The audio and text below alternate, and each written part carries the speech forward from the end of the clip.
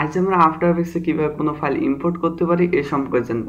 আমরা আগের ভিডিওতে কম্পোজিশন ক্রিয়েট করতে পারি, কীভাবে এই সম্পর্কে জেনেছি আজ আমরা কম্পোজিশনটা কীভাবে এডিট করতে পারি, সে সম্পর্কে একটু জেনে নেই।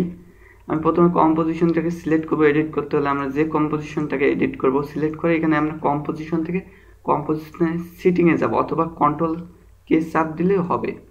এখন আমরা এই কম্পোজিশনটাকে আবার আমরা আগে যে সিস্টেম রেখেছি, চাইলে আর একটু চেঞ্জ করতে পারি। আমি এখানে নামটা চেঞ্জ করেছি, তারপর এখানে আমি কালারটা চেঞ্জ করেছি। চাইলে আবার আমরা এখানে ফ্রেম রেট রেজুলেশন সাইজ সব কিছু চেঞ্জ করতে পারি। এবং ওকে করলে ওকে হবে। আমরা যদি প্রিভিউ দেখতে চাই, সেটাও আমরা ওখান থেকে প্রিভিউ দেখতে পারি। এখন আমরা আফটার এফেক্টসে কীভাবে ফাইল ইম্পোর্ট করতে হয়, এ সম্পর্কে জানব। আমরা অনেকভাবে আফটার এফেক্টসে ফাইল ইম্পোর্ট করতে পারি। সো দেখা যাক আমরা কী কীভাবে করতে পারি।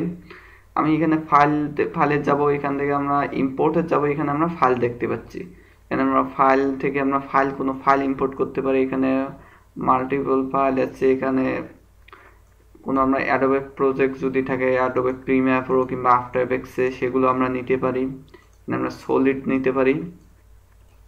এখানে ফাইলে যাব এবং আমাদের লোকেশন আসবে।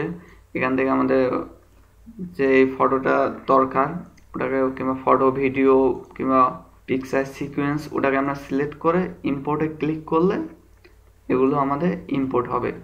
এখন আমাদের এখানে ফটোটা ইম্পোর্ট হয়েছে। আমি আরও অন্যভাবে ইম্পোর্ট করতে পারি। এখানে আমি রাইট বাটন ক্লিক করে ইম্পোর্ট থেকে ফাইলে গিয়ে এখানে আমি ইম্পোর্ট করতে পারি। এছাড়াও কন্ট্রোল যদি আই প্রেস করি, তাহলে আমাদের ফাইল লোকেশন আসবে। এখান থেকে আমি ফটো ভিডিও ইম্পোর্ট করতে পারি। সো আজ এ পর্যন্তই। আগামী ভিডিওতে আমরা এই টুলগুলো নিয়ে আলোচনা করব। সে পর্যন্ত সবাই ভালো থেকো, সুস্থ থেকো। Thank you